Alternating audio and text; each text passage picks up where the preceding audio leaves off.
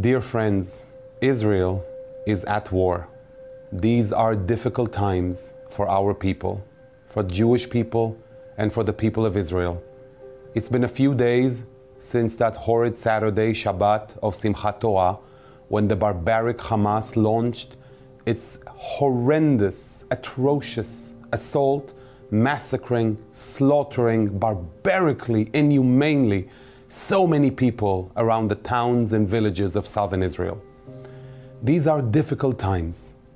These are difficult times reminiscent of some of the darkest times in human history, reminiscent of the Shoah, of the Holocaust, reminiscent of the Kishinev pogrom.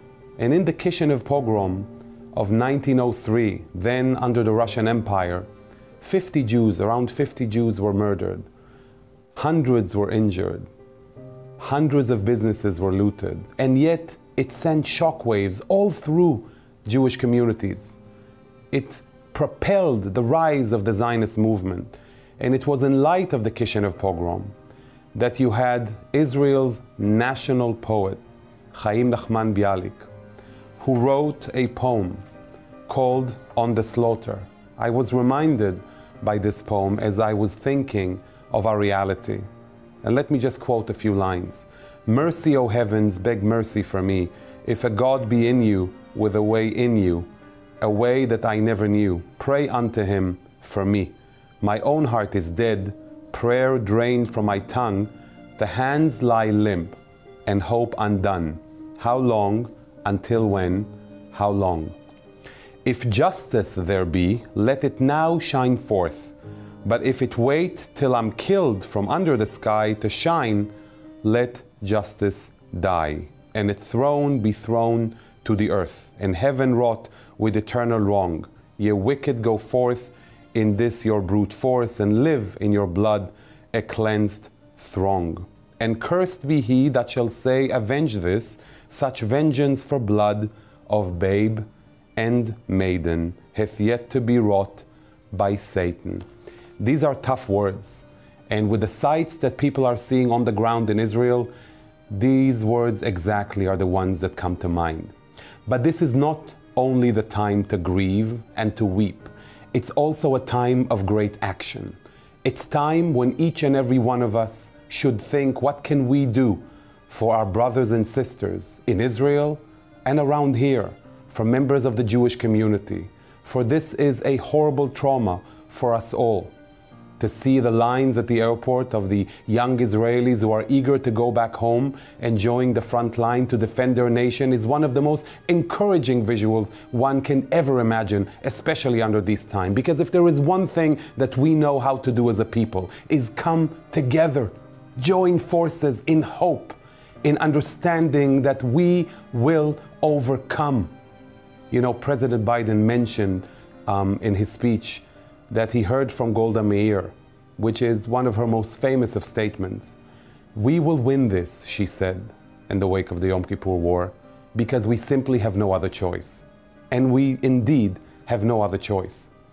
Yesterday, I read an incredible column written by a good friend of mine, Professor Yuval Elbashan from the Ono Academic College in Israel. He's the dean. And I want to quote a few lines for you because these lines made me stronger and I hope they make all of you stronger. We will always have our home, my Be'eri. The enemies before us are mistaken, gravely mistaken. Perhaps they believe that if they ruthlessly pluck the most beautiful flowers from the earth, we will wither like desolate weeds in the desert. They forget that we have been rooting ourselves in this tough soil for 3,295 years even a million drops of spilled blood from innocents, the abhorrent killings the terrorists boast about to the world, will not erase those roots. Wherever in Israel blood was shed, the next generation came forth and multiplied from Yad Mordechai to Kfar Sod, from the Negev to Gush Etzion. Now they will learn it the hard way, just like their predecessors. The enemies before us are mistaken, gravely mistaken. They forgot what Yehuda Amichai said long ago. The Jews are not a historical people. They're not even an archaeological people. The Jews are a geological people with rifts and collapses and strata and fiery lava. Their history must be measured on a different scale, a different scale that they will never comprehend. The enemies before us are mistaken, gravely mistaken. They hear us wail as we dig the graves of our heroes, but they do not understand that right after we bury our dead, we will use those same shovels to dig trenches around fresh seedlings planted in their memory in the places they defended with courage and sacrifice. So hold on to hope, my friends. Look around you and see how you can help and be part of the effort. Speak up for Israel wherever you are. Participate on the social media discussion. Enlighten the world with the wisdom of truth, with the courage of our brothers and sisters in Israel. Be part of the positive effort to strengthen the state of Israel at this time. Join whichever members of the Jewish community, organizations who support soldiers and communities on the ground, for this is the time to come together as a people. We here will continue to do our work at JBS and beyond.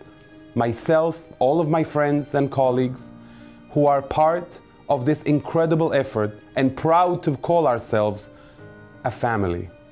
All of us, one big family. Am Israel Chai. Don't ever forget. Am Israel Chai.